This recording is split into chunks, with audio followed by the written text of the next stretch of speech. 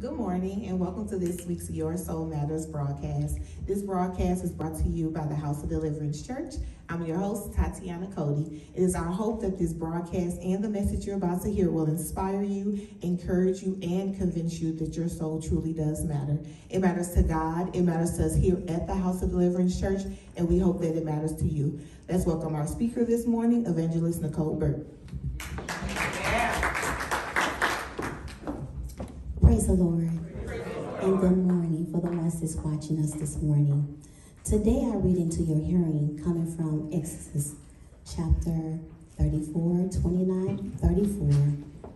And it came to pass when Moses came down from Mount Sinai with the two tables of testimony in Moses' hand, when he came down from the mountain, mountain, that Moses wist not that the skin of his face shone while he talked with him. And when Aaron and all the children of er-, Israel saw Moses, behold, the skin of his face shone, and they were afraid to come nigh him. And Moses called unto them, and Aaron and all the ruler of the congregation returned to him, and Moses talked with them.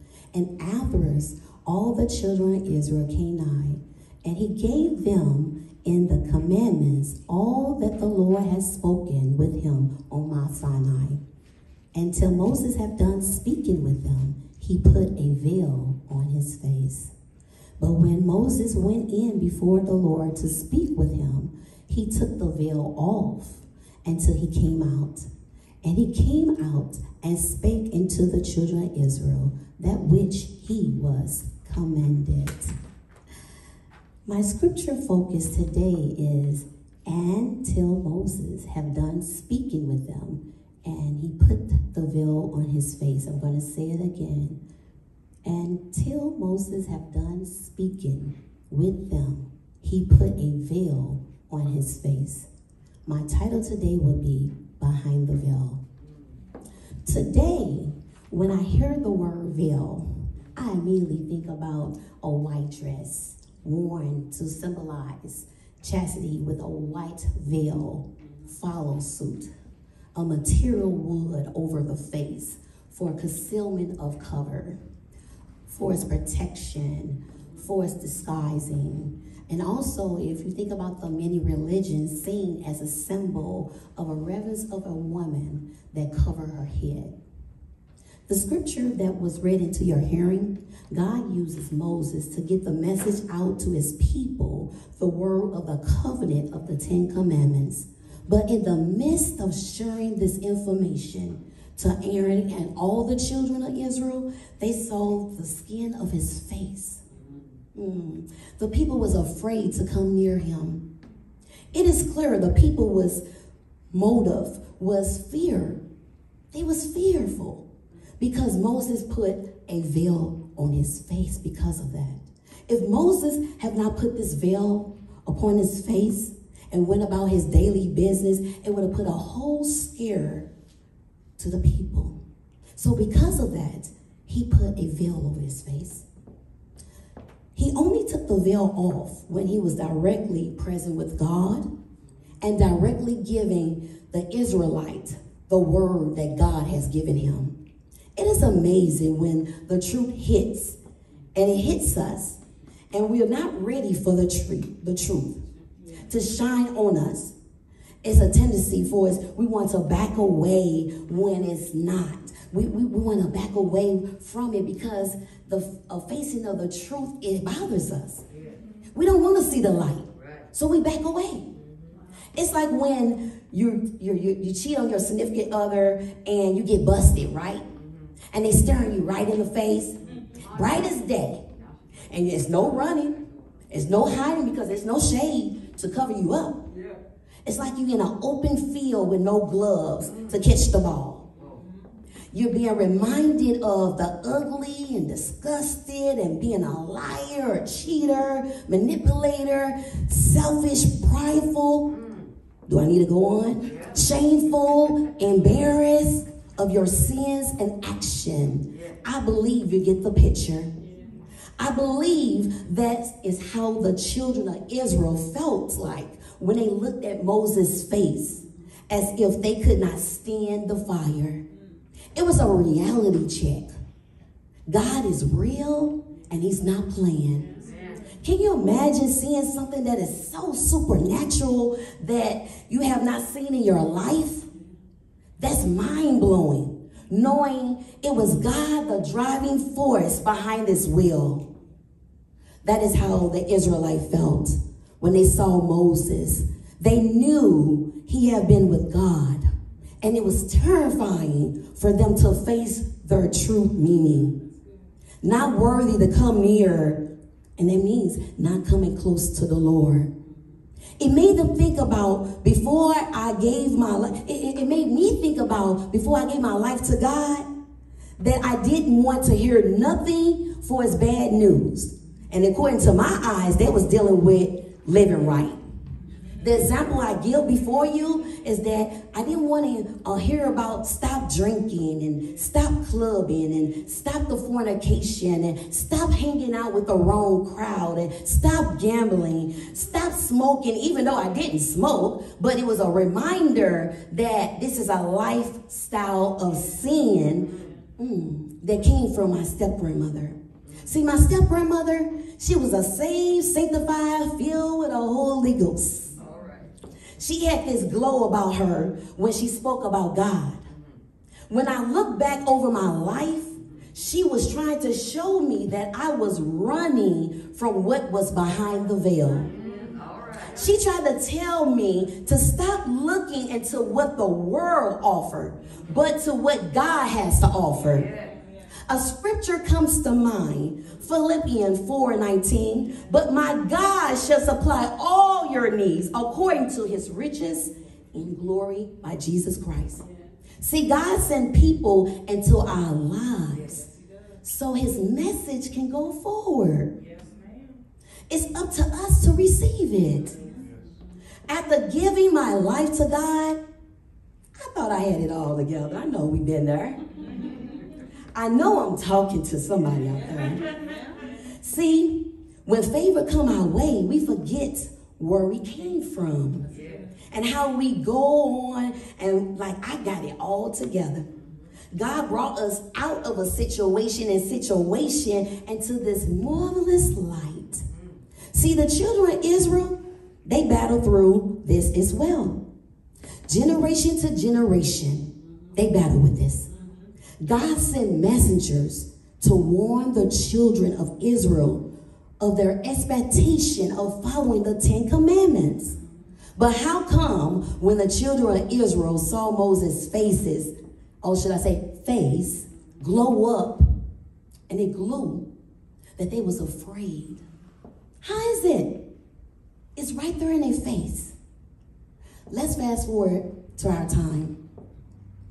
When signs are given to us about how to live and what God requires of us, but when the lights start beaming in our face, we act like we can't handle the heat.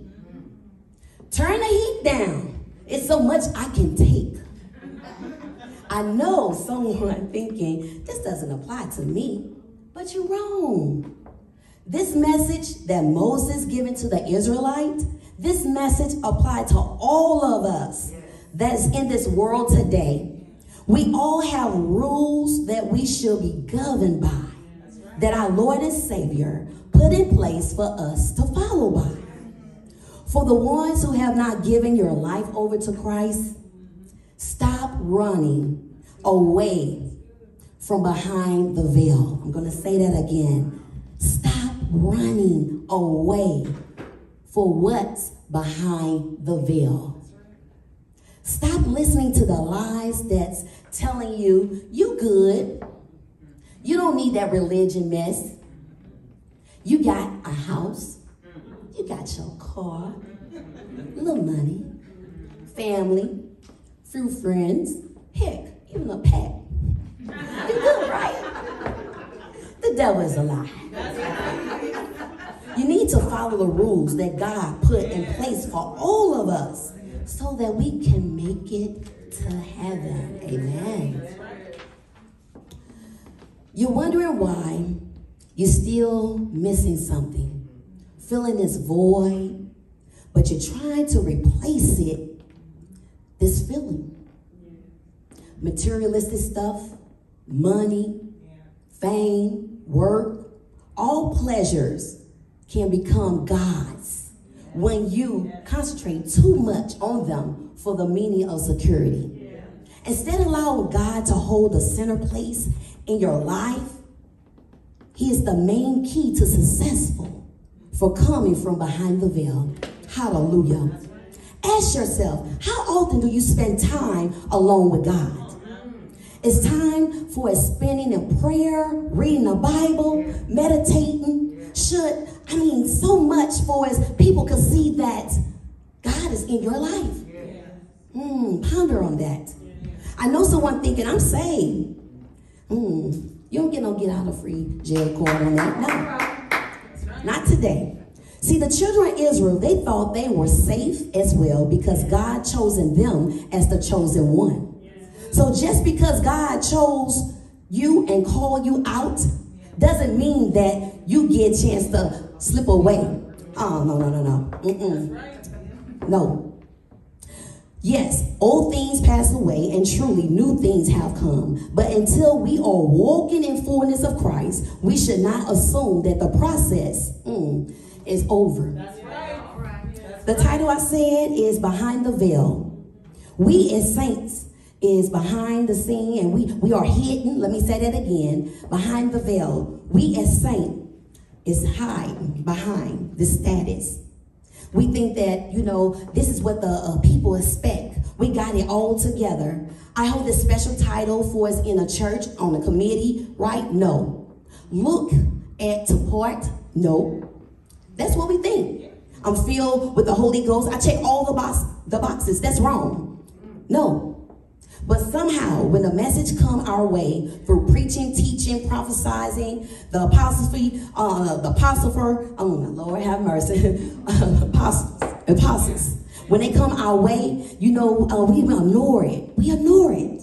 But what I'm trying to tell you is that stop. Meaning that we are going to have to give up our humility, yes. It mean that people may know that I did wrong? Yes. If it means for you to give up your life, and if it means to surrender to God, if it means for coming behind the veil, yes. The truth is, is that we want to be saved. Hallelujah. Going back to the early statement is why we can't stay in the light of truthness. This is giving a revelation as God is talking to his people. We have to be willing not to be deceived by the enemy. Whatever it takes because you don't want to, you don't want these few things to happen for us being doomed to hell and also being stubborn because of the warning that was given to you. Look in the mirror. Make your mind up. Finally, there are many, but I am going to touch a tip of the iceberg, right? It's time to unmask our salvation. Stop hiding behind our salvation for the ones who are guilty as charged, hiding salvation is the worst thing as is hiding the cure of COVID-19. The devil is hiding. He wants he wants us to be hiding the salvation because he is evil. But believers should share the salvation. Hallelujah. In the world, this physical life, do not hide behind your salvation that can save your uh, spiritual life. Hallelujah. Our Christianity must, and spirituality must stand behind the veil, even if the mask of our nature body, or should I say our natural body. Let us not be like the Israelite, refuse to know his will. Stop listening to the devil. Mm. Want to want to say this. Stop listening to the devil. Stop playing the charade. God left us here to shine. And if we don't, who will? Have a blessed day.